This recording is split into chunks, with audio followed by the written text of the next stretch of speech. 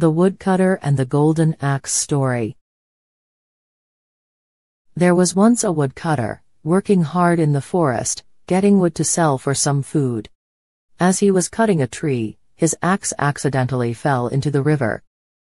The river was deep and was flowing really fast, he lost his axe and could not find it again. He sat at the bank of the river and wept.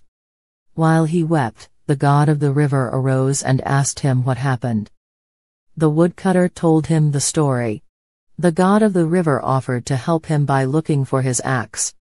He disappeared into the river and retrieved a golden axe, but the woodcutter said it was not his. He disappeared again and came back with a silver axe, but the woodcutter said that was not his either.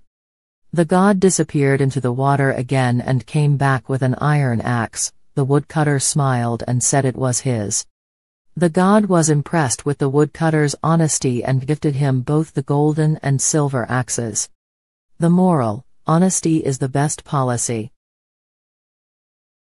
Subscribe for more stories.